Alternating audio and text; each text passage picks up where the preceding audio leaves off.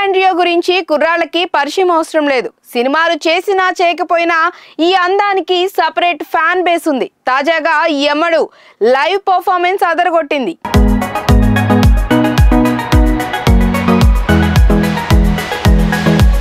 Andrew జర్మనియా. నటిగా makeup వేసుకున్న దగ్గర నుంచి తనలో హాట్ యాంగిల్ వెండితెరపై హైలైట్ అవుతుంది తప్ప బిహైండ్ ద స్క్రీన్ చాలా రేర్గానే అలాంటి దుస్తుల్లో కనిపిస్తుంది.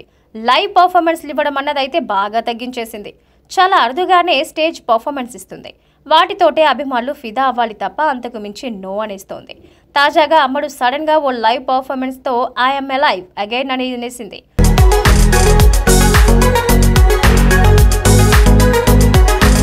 ఆండ్రియో మరోసారి రచ్చరంబోలో చేసిన లైవ్ పర్ఫార్మెన్స్ ఇచ్చిన స్నాప్ ఒకటి నెట్టింట వైరల్ అవుతోంది. ఆండ్రియో హాట్ పర్ఫార్మెన్స్ కంతా ఫిదా అవ్వాల్సిందే.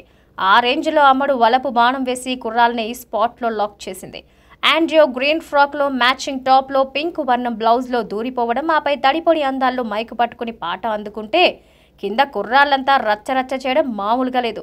ఆండ్రియాల గెంతుతో పాట పాడుతూ ఉంటే కుర్రాళ్ళ గుండెల్లో మోతెక్కాయి. షోల్డర్లెస్ బ్లౌజ్ తొడ పిక్కల వరకు ఫ్రాక్తో గెంతితే మామూలుగా ఉంటుందా?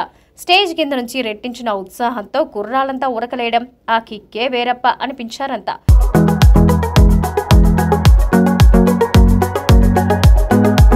ప్రస్తుతం ఆండ్రియో స్టేజ్ పర్ఫార్మెన్స్ యువతలో చర్చనీయాంశంగా మారింది. ఆండ్రియో నుంచి ఇలాంటి పర్ఫార్మెన్స్ కోసం ఎప్పటి నుంచో ఎదురు చూస్తున్నాం ఇప్పటికీ సాధ్యమైంది అంటూ ఓ నెటిజన్లు కమెంట్ పోస్ట్ చేశారు.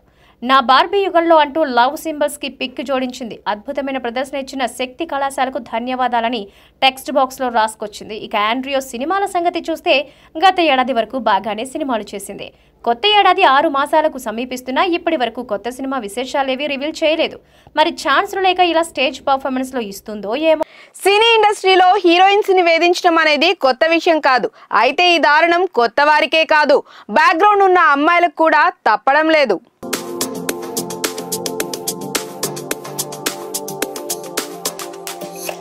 రెండు వేల పద్దెనిమిది నుంచి మీటూ ఉద్యమం ఊపందుకుంది. అదే సమయంలో అన్ని సినీ పరిశ్రమల్లో నటీమణులు తమకు ఎదురైన వేధింపుల గురించి ఓపెన్ అయ్యారు.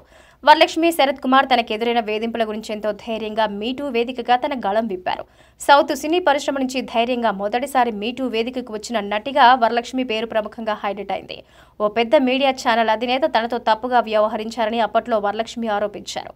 అంతేకాదు అతడిపై పోలీస్ కేసు కూడా ఫైల్ చేశారు. ఇప్పుడు మరోసారి ఇదే విషయాన్ని ప్రముఖ తెలుగు యూట్యూబ్ ఛానల్ హోస్ట్తో మాట్లాడుతూ స్పష్టంగా తన విషయంలో జరిగిన నాటి సంగతిని రివీల్ చేశారు.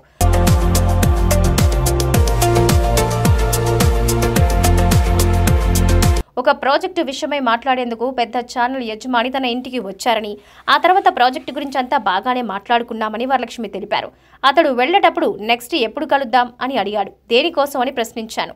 ఫర్దర్ విషయాలు మాట్లాడడానికి కలుద్దామన్నాడు. మీరు బ్యాడ్ మూడ్లో ఉన్నారు తర్వాత మాట్లాడతాను అని అతడు అన్నారు. రూమ్ బుక్ చేస్తానని కూడా అన్నాడు అని వరలక్ష్మి తెలిపారు. అతడు నా ఇంటికే వచ్చి ఇలా అన్నాడు. అందుకే వెంటనే నేను కేసు ఫైల్ చేశాను.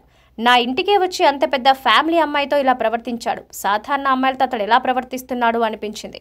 అందుకే వెంటనే నేను నడిపిస్తున్న సేవ్ శక్తి అనే ఎన్జిఓ ద్వారా అతడిపై కేసు ఫైల్ చేశారని వరలక్ష్మి నాటి విషయాన్ని స్పష్టంగా వెల్లడించారు.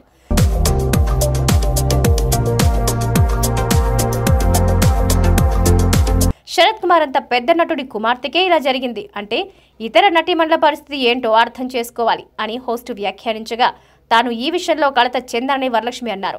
నటిగా కెరీర్లో ఇలాంటివెన్నో ఎదురయ్యాయి. చాలా ప్రాజెక్టులు వదులుకున్నారని వరలక్ష్మి వెల్లడించారు. అయితే ఎన్ని తిరస్కరణలు ఉన్నా కానీ ఇప్పటికీ వరలక్ష్మి శరత్ కుమార్ కెరీర్ పరంగా బిజీగా ఉన్న సంగతి తెలిసిందే.